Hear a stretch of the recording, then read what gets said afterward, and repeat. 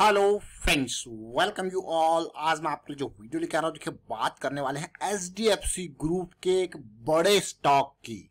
जैसा कि आपको पता ही है, जब बात होती है एच डी ग्रुप की तो सबसे पहले पेरेंट कंपनी यानी कि एच का नाम से सामने निकल के आता है, फिर एच डी का बैंक आ जाता है। फिर आप कहोगे, और कौन से हैं एच डी ग्रुप की companies H D F C का लाइफ और एच का एसेट मैनेजमेंट कंपनी तो चलिए देखते हैं, यहाँ पे एच ग्रुप की बड़ी कंपनी को और आगे बढ़ने से पहले मैं आपको बता दूँ, अगर आपने अब तक चैनल को सब्सक्राइब नहीं किया तो जल्दी से सब्सक्राइब कर ले बेल आइकन को प्रेस कर ले, जिससे आपको नोटिफिकेशन आती रहेगी और प्राइस एक्शन सीखने के लिए आप ज्वाइन कर सकते हो मेंबरशिप ज्वाइन बटन पे क्लिक करके। HDFC का ये बड़ा स्टॉक क्या ट्रेंड बदल रहा है? आपके मन में क्वेश्चन ज़रूर होगा तो आंसर देगा चार्ट ये स्टॉक कोई और नहीं ये है H D F C group का H D F C M C यानी कि एसेट मैनेजमेंट कंपनी जरा देखिए तसल्ली से H D F C M C बड़ा स्टॉक 48,000 करोड़ का मार्केट कैपिटलाइजेशन पी रेशियो 35 के अराउंड प्रॉफिट ग्रोथ ज़बरदस्त डेट फ्री कंपनी पैसा यानी कि एसेट्स को मैनेज कर रहा है। अगर आप रेवेन्यू को देखो, अगर आप प्रॉफिटेबिलिटी को देखो, आप कहोगे, यार, गड़बड़ तो कुछ नहीं है, सब चीज़ तो बढ़िया है 1300 करोड़ का प्रॉफिट इसने पिछले 12 महीनों में दिखा है, और पिछले फाइनेंशियल ईयर में भी 1300 करोड़ का प्रॉफिट उससे पहले भी अगर आप देखोगे तो कंसिस्टेंट प्रॉफिट दे ही रहा है, और अगर 2016 के से लेके 2020 तक देखोगे तो 500 करोड़ से प्रॉफिट बढ़ता बढ़ता 1200 करोड़ तक चला गया है, लेकिन स्टॉक इतना अंडर वैल्यूड इस सिचुएशन पे कैसे बढ़ा है? आपके मन में क्वेश्चन ज़रूर होगा कि H D F C MC ऐसे कैसे पड़ा है?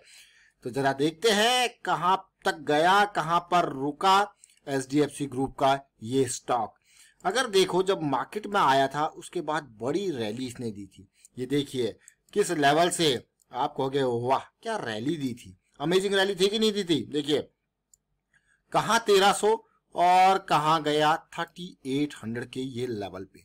अमेजिंग मैं कहूँगा, लेकिन उसके बाद धीरे धीरे करके प्राइस ने किया करेक्शन स्टार्ट लेकिन अब आप अब जरा देखिए एम बन गया, फिर नीचे आया। बेस अगर देखोगे तो जो ये रिसेंट जो कहूँगा मैं लिस्टिंग के टाइम का एरिया है, वो बेस बन रहा है। जो पहले के पीक से वो सपोर्ट मैं कहूँगा यहाँ पे काम कर रहे हैं। देखिए, कर रहे हैं कि नहीं कर रहे हैं? तो क्या ट्रेंड बदल रहा है? ये बताएगा हमको छोटा time frame H D F C A M C का। अब आपको यार, ये तो बहुत ही अच्छी बात है तो बहुत ही अच्छी सिचुएशन में।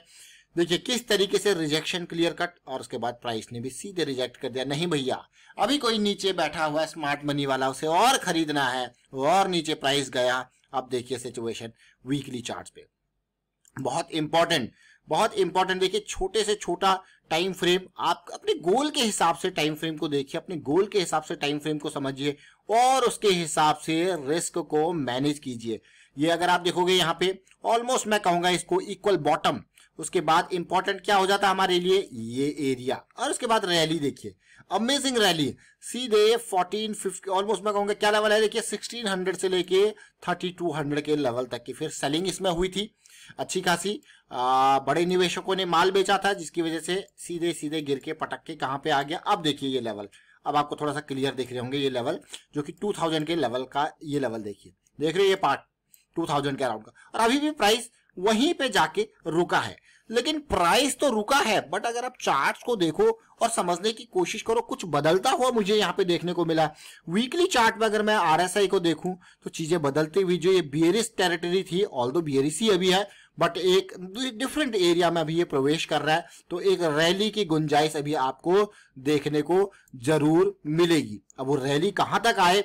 अब अब जैसे चीज़ें बदलती हैं तो स्मॉल स्मॉल स्टेप्स करके आगे बढ़ना बहुत इंपॉर्टेंट होता है। तो इनिशियली क्योंकि ट्रेंड ओवरऑल अगर आप देखा जाए तो ये बहुत इंपॉर्टेंट जो 3400 का लेवल था, जिस लेवल के अराउंड देखिए, बड़े निवेशकों ने माल बेचा था, एक स्ट्रांग रेजिस्टेंस का इसने काम किया, देखिए वन टू थ्री अब देखिए प्राइस एक रेंज 2000 से लेके चौतीस की रेंज में ये ट्रेड कर रहा है। तो अभी आपका जो पॉइंट ऑफ़ इंटरेस्ट या फिर एरिया ऑफ़ इंटरेस्ट होना चाहिए, वो ज़्यादा नहीं मैं तो बल्कि ये कहूँगा, ये जो बड़ी कैंडल है ना, जहाँ से ये सेलिंग हुई है, इन एरियाज़ तक अभी का जो है थॉट प्रोसेस होना चाहिए। अगर इसको इनको पार करना हो तो फिर से, क्योंकि जब जर्नी स्टार्ट होगी, जब ये इम्पल्स बनेगी ऊपर की तो धीरे धीरे करके इम्पल्स इस तरीके से पॉजिटिविटी यहाँ पे देखने को मिलेगी। तो आपको अलग अलग अपॉर्चुनिटी यहाँ पे देखने को मिलेंगी। तो वो अपॉर्चुनिटीज़ को एक एक छोटे छोटे स्टेप बाय स्टेप मैं कहूँगा ग्रैप करना ज़्यादा बेटर रहेगा। अब मैं आपको डेली टाइम फ्रेम पे लेके जाता हूँ, क्योंकि जो सिचुएशन मुझे बदलती हुई दिखी है, वो डेली टाइम फ्रेम पे अभी बदल रही है। जिसको वीकली पे आते आते टाइम लग सकता है। अगर आप पूरे के पूरे डाउन ट्रेंड को समझने की कोशिश करो, जो कि 3400 के लेवल से चला था 2000 के लेवल तक 1400 पॉइंट की ये गिरावट। अब इस गिरावट को ध्यान से समझना। सबसे पहले इस पॉइंट को समझिए। इस पॉइंट को। बहुत इंपॉर्टेंट पॉइंट ये देखिए, बिल्कुल आरएसआई में ये पॉइंट टूटा लोअर हाई बना। और ये जब चीज़ें निकलती है ना, इस तरीके की सिचुएशन मतलब थोड़ा पेन आपको सामने और ऊपर से गैप डाउन पेन आपके सामने क्लियरली फिर देखिए।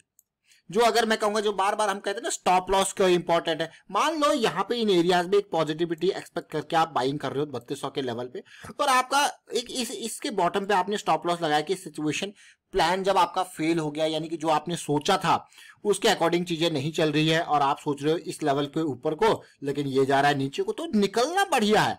रादर देन की प्राइस इतना डिप करे तो उसी टाइम पे अगर आप निकल जाते हो तो आपका लॉस जो है पहले ही डिफाइन रहता है एंट्री के टाइम पे। तो इसीलिए रिस्क मैनेजमेंट की है रिस्क मैनेजमेंट इसीलिए कहते हैं कि जब हम ऊपर यहाँ पे चीज़ें सिचुएशन जो हमारा प्लान है, जो हमने सोचा है, वो फेल हो जाए तो क्या होगा? हम निकलेंगे। बट ओवरऑल सिचुएशन अगर आप देखोगे पार्ट को लोअर लो लोअर हाई की जो सीरीज़ चली है आप क्लियरली देखिए एक बार भी ऐसा नहीं हुआ एक एक इंपॉर्टेंट हाई लेवल पार हुआ है। देखिए एक इंपॉर्टेंट हाई लेवल पता है मैं क्यों कह रहा हूँ देखिए ये इंपॉर्टेंट हाई लेवल्स है डेली टाइम फ्रेम के हिसाब से। एक भी पार ऐसा न, एक भी बार ऐसा नहीं हुआ है कि इंपॉर्टेंट हाई लेवल यहाँ पे पार हुए। यहाँ पे देखिए कंसोलिडेशन देखने को मिली जो इसका इंपॉर्टेंट सपोर्ट लेवल था। उसके बाद आप देख सकते हो कि ये लेवल जो है पार होता है।